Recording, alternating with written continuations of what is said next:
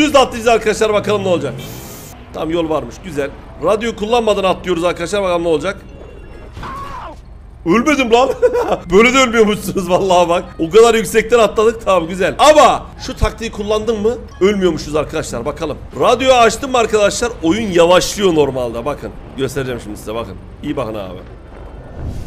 Böyle yavaşlattın mı o kadar hasar almıyormuşsunuz ve kurtuluyormuşsunuz arkadaşlar.